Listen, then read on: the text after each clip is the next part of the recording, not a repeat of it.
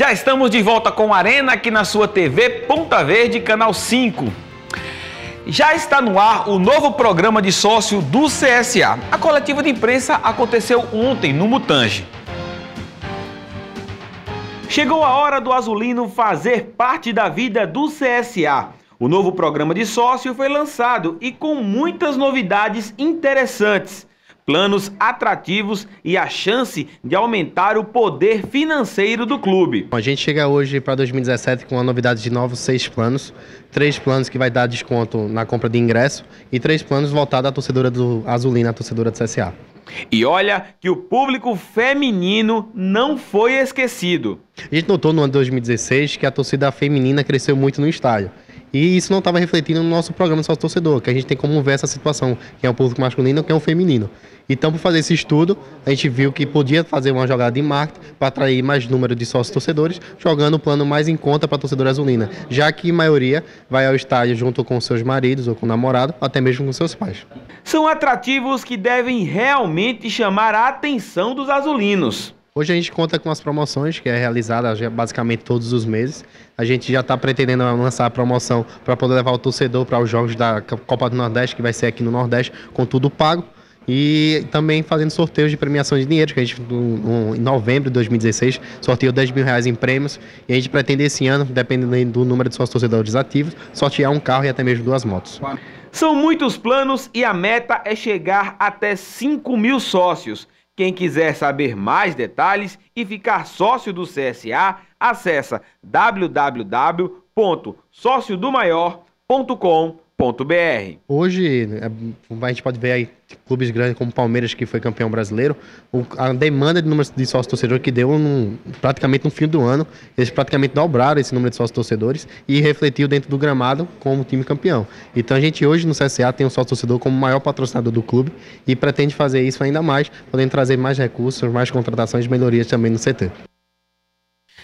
É uma realidade, né? O programa de sócio, não só do CSA, como do CRB, que também vai lançar uma nova modalidade na próxima semana, é o novo atrativo dos clubes para crescimento financeiro. A maioria dos grandes clubes do Brasil já estão tendo uma receita muito grande só com o trabalho do sócio. Lembrando que o CSA joga amanhã, 8 da noite, quarta-feira, 8 da noite, contra a equipe do Confiança, no segundo amistoso da pré-temporada. Os ingressos custam 30 reais as cadeiras e 15 reais as arquibancadas. Com detalhe é que o sócio não paga nada. A torcida reclamou, a direção do CSA colocou um valor simbólico para o sócio, mas ontem a presidência do CSA, através do presidente Rafael Tenório, decretou que o sócio não paga nada para assistir a CSA e Confiança amanhã, 8 da noite, no estádio Rei Pelé. Grande chance da torcida do CSA se reencontrar com o time. Vai ser uma grande festa no estádio Rei Pelé. Você que não é sócio, corre, meu amigo. Vai lá no site e tem várias modalidades, vários planos para mulher, valores baixos, valores altos. Dependendo da sua condição financeira, você se associa ao CSA, que vai ter um calendário cheio em 2017. Olha, não deu para Marlone, não deu para Marta, mas sim para Cristiano Ronaldo. Pois é, o português levou o prêmio de melhor do mundo pela quarta vez. O momento mais esperado da premiação teve o anúncio do presidente da FIFA, Gianni Infantino. O melhor jogador do mundo em 2016 fala português. Cristiano Ronaldo, do Real Madrid, agradeceu pela premiação e lembrou o ano em que conquistou a Liga dos Campeões da Europa e o Mundial de Clubes, além do inédito título da Eurocopa com a seleção de Portugal. O melhor técnico do ano foi Claudio Ranieri, o italiano que ganhou o campeonato inglês com o Leicester, a maior zebra dos últimos anos. Ele recebeu o troféu das mãos do argentino Maradona.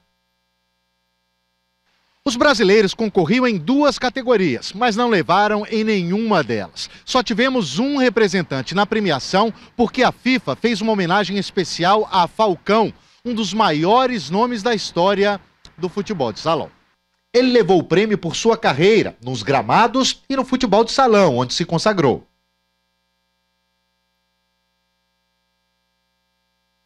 O prêmio Puskas de gol mais bonito do ano foi para Mort Faiz Subre, por esse golaço aí pelo Campeonato da Malásia. Marlone, do Corinthians, concorria nessa categoria pelo gol que marcou contra o Cobresal na Copa Libertadores. Mas ele se divertiu na viagem a Zurique, bateu uma bolinha com Maradona numa partida que reuniu estrelas do futebol e divulgou uma foto ao lado do craque argentino antes da festa. A brasileira Marta também era esperança de prêmio para o Brasil, mas entre as mulheres a escolhida foi Carly Lloyd, dos Estados Unidos. Se serve de consolo, dois brasileiros foram eleitos para a seleção da FIFA: os laterais Marcelo, do Real Madrid, e Daniel Alves, da Juventus, da Itália.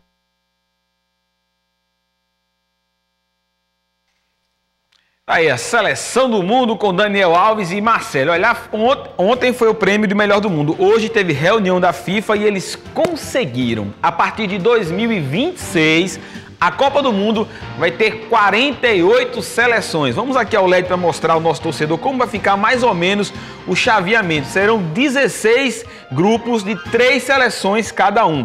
Classificam-se dois, aí acontece o emparelhamento até a final com 32 equipes, 16, 4 ou duas que vai dar na final da Copa do Mundo. Lembrando que a FIFA já anunciou que não vai haver um aumento em relação às datas, serão ainda 32 datas, um mês mais ou menos de realização de Copa do Mundo e também o caminho para que um time chegue até a final da Copa vai ser de sete jogos, não trazendo assim é, um aumento de jogos para as seleções. Ontem foi uma discussão muito grande, várias equipes de esporte de vários canais é, falando de prós e contras do que seria uma Copa do Mundo com 48 seleções, realmente vai ficar uma Copa do Mundo inchada, a qualidade vai baixar, porque viram seleções que não têm tanta tradição no futebol e assim alguns jogos não tão interessantes. Mas a FIFA tem uma visão maior, tem uma visão de ter mais lucro, com mais visibilidade com a Copa do Mundo. Então, a partir de 2026, lembrando, 2018, ano que vem, Copa do Mundo na Rússia.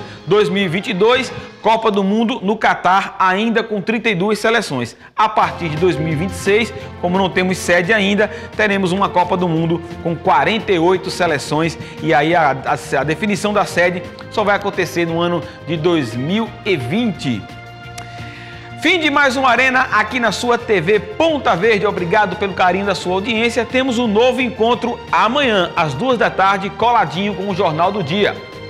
A todos um grande abraço. A gente se encontra amanhã, hein? Um abraço. Tchau.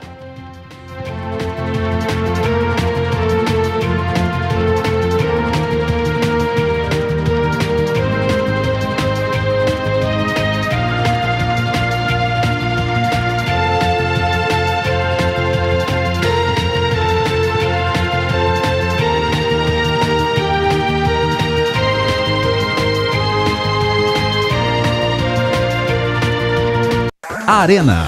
Oferecimento. Alumiaço Vidros, a maior fábrica de vidros do Nordeste.